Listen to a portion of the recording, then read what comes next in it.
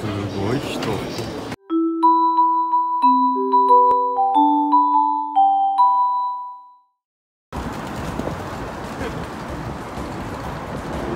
ブンブンハロー YouTube どうも日曜チャンネルようこそ。どうもペンキチでございます。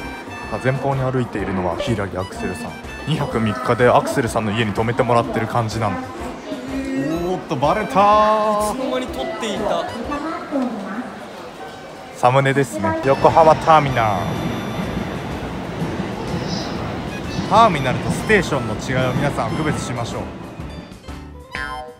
う。てかさいやペンキチハーゲンダッツ食いたいっつったじゃん。ななんでパピコなの？いやあのスーパーカップとかならわかるよ。なんかその一つだからそんなハーゲンダッツちょっと似てるからわかるけどさ。パピコって2本入りじゃん。3人で分けれないじゃん。どうしてこんななんかちょうど悪いやつ買ってくるの？